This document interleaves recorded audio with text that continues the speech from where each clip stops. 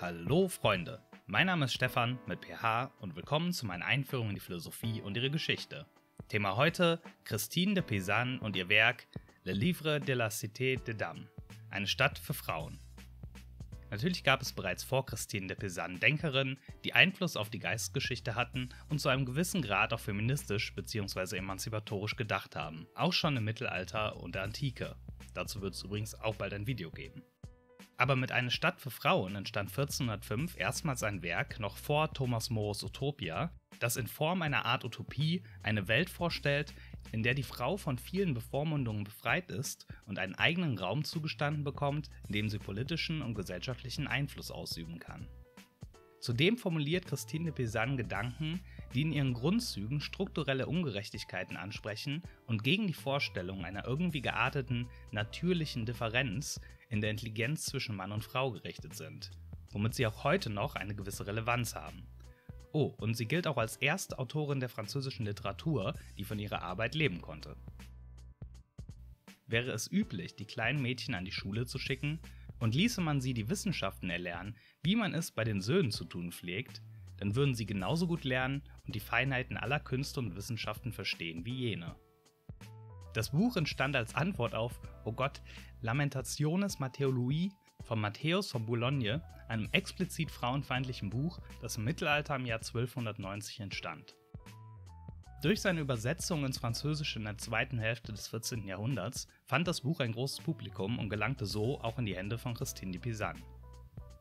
Aber so unbedeutend dieses Buch im Grunde auch war, es lenkte meine Gedanken doch in eine neue Richtung.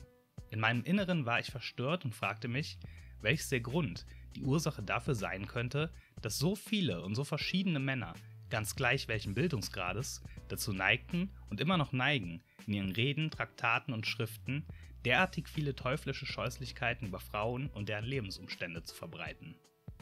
Besonders interessant ist, dass das Buch aus der Ich-Perspektive geschrieben ist und damit beginnt, wie die Autorin von drei weisen Frauen, die Tugend, Vernunft und Rechtschaffenheit repräsentieren, den Auftrag erhält, eben die besagte Stadt für Frauen zu errichten. Allerdings nur literarisch. Nimm die Spitzhacke deines Verstandes, grabe tief und hebe überall dort einen tiefen Graben aus, wo es mein Lot dir anzeigt. Ich werde dir mit eigenen Schultern helfen, die Erde fortzuschaffen. Christine schreibt in dem Buch also sozusagen darüber, wie sie den Auftrag erhält, das Buch zu schreiben, von ihrem Verstand, ihrer Tugend, ihrer Rechtschaffenheit. Damit trifft die Autorin vielleicht auch schon eine ihrer wichtigsten Aussagen. Unabhängig vom Geschlecht und man kann diese Vorstellung natürlich auch auf andere Voraussetzungen übertragen, sind es diese Eigenschaften, durch die wir uns befreien und Neues erbauen können. Sie sind hier der absolute Grundpfeiler für die Entwicklung von Mensch und Gesellschaft. Interessant ist außerdem, dass die Autorin den Aufbau der fiktiven Stadt mit ihren Thesen über Frauen verbindet. Der Unterbau, das Fundament ist, dass Frauen Männern im Verstand ebenbürtig sind, dass sie in Wissenschaft und Handwerk dieselben Leistungen bringen können. Die Gebäude, Türme und Einrichtungen der Stadt repräsentieren die Sittlichkeit und Tugenden der Frauen, in denen sie den Männern genauso in nichts nachstehen. Als letztes steht der Einzug der Heiligen in die Stadt, angeführt durch die Jungfrau Maria, für die Liebe und Opferbereitschaft der Frauen gegenüber Gott und eben diesen Heiligen. Die Struktur des Werkes erinnert dabei ein wenig an einen sokratischen Dialog. Die Autorin stellt Fragen zur Thematik an die drei weisen Damen vom Anfang und diese beantworten sie in Form von Geschichten und Anekdoten. Die Frage wird hier sozusagen zum mächtigsten Werkzeug des Verstandes und führt zur Erkenntnis. Christine de Pizan endet mit einer direkten Botschaft an die Frauen ihrer Zeit. Meine edlen, hochverehrten Frauen, gepriesen sei Gott, denn nunmehr ist die Errichtung unserer Stadt vollendet und abgeschlossen.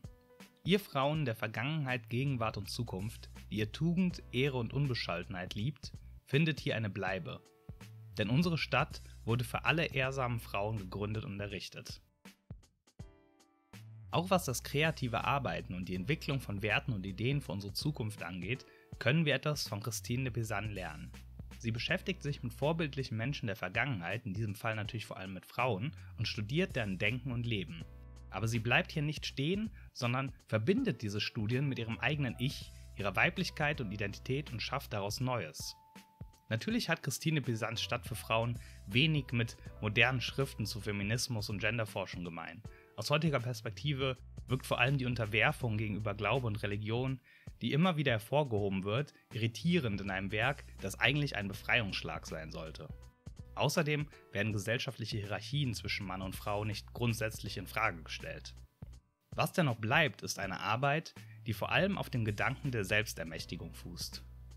Statt einfach zu schreiben, wie es sein sollte, vermittelt die Autorin Gedanken dazu, wie Menschen sich selbst aus Verhältnissen befreien bzw. diese verändern können, mit Hilfe von Verstand und Kreativität, Tugend und Rechtschaffenheit. Mit solchen Vorstellungen war Christine de Pizan ihrer Zeit, die noch stark von der eher steifen mittelalterlichen Scholastik geprägt war, um viele Jahre voraus. An dieser Stelle noch vielen Dank an meine Unterstützer auf Steady. Einen Link dazu findet ihr in der Videobeschreibung und am Ende des Videos, falls auch ihr dem Kanal helfen wollt. Beenden wollen wir das Video mit einer Frage, denn wenn uns etwas zur Selbstermächtigung führt, dann ist es wohl die Frage, wie steht ihr zu der Idee, gesellschaftlichen Wandel durch Kunst anzutreiben? Kann man zum Beispiel mit einem Buch so weit in die Vorstellungswelt der Menschen eindringen, dass sich wirklich etwas ändert? Hinterlasst mir eure Gedanken dazu in den Kommentaren und wir sehen uns das nächste Mal wieder.